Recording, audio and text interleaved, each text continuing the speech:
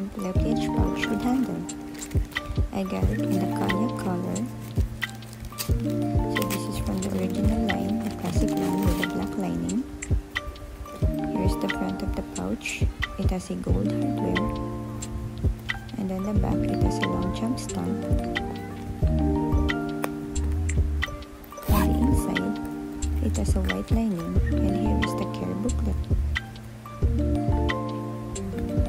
Has zipper closure and the snap button.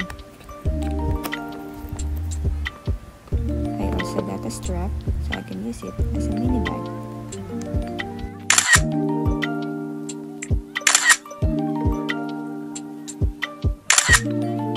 Thank you for watching.